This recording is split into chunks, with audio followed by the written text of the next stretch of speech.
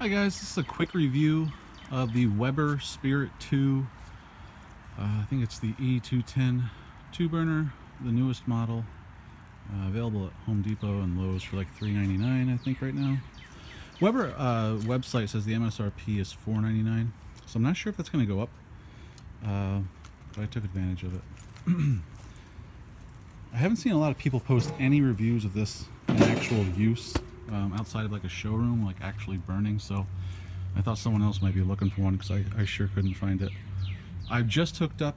Uh, I built this myself. I did not uh, get the pre-assembled. I wanted to know how it went together.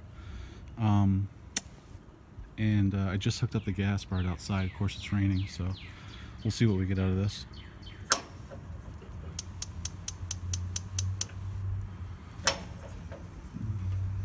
Oh, there you go. All right. You can already feel the heat. Nice. So, what I actually wanted to do, let me shut this off real quick. I want to show you guys. Some people, like myself, would uh, like to see what the burners actually look like when they're shooting out a flame. Um, because you can't, you know, like I said, this thing's brand new, so there's nothing anymore. Yeah, that's already hot. I'm gonna wait just a second.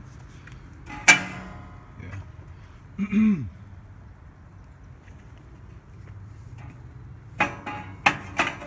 the middle one. That that one doesn't. There's just I don't know.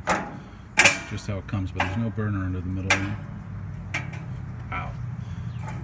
Uh, these are the flavorizer flavorizer bars, of course.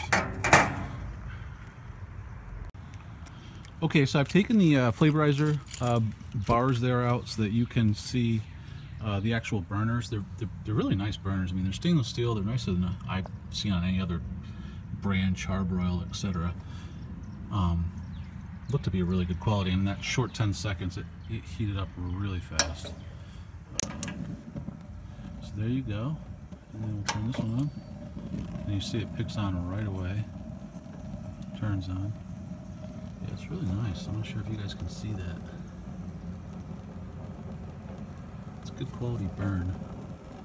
Well, of course, it's this is brand new. This is this is the first firing. That's the uh, pretty sweet. That's a grease. Uh, or, I'm sorry, a grease uh, dripping pan. And if you can't tell, I don't make these videos very often. Um, and this is really neat. So you can just buy these replaceable pieces of foil, these uh, foil pans, and slide it. It's super, uh, super easy and quick to switch out that grease. Uh, so that looks really nice. This is easy to get into if you have to. I'm gonna turn this back off just so I don't burn myself putting these back in. And uh, yeah, I'll take another video when I got something on here. Okay guys, so I had I brought this thing to I, I turned it on at half heat. It took about five minutes to get to 300 degrees.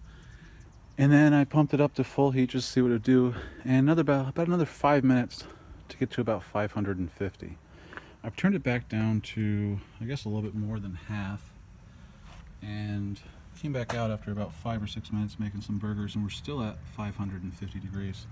So it's holding its heat really nice, a lot better than that old Char-Broil that I had. Uh, so I got a thunderstorm rolling in, of course. I built this thing almost a week ago, and we've just had really bad weather after work, so I haven't had a chance to cook. But I'm, uh, I'm just gonna do this.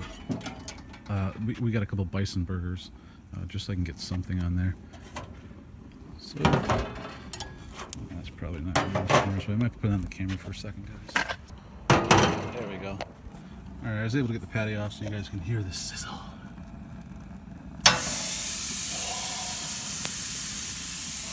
The next one.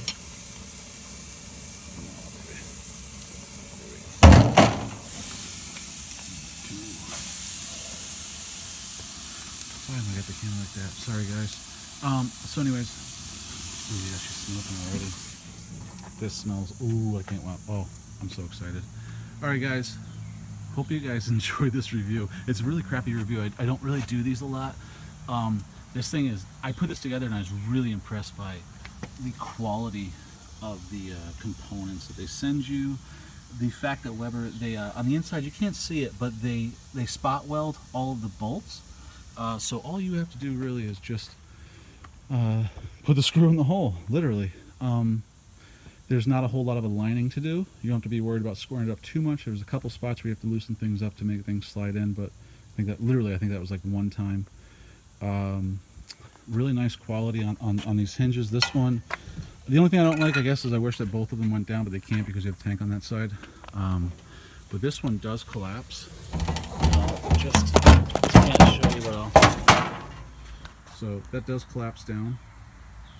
Um, which means you can store it in a tighter spot, like say you want to put it on your patio or something like that.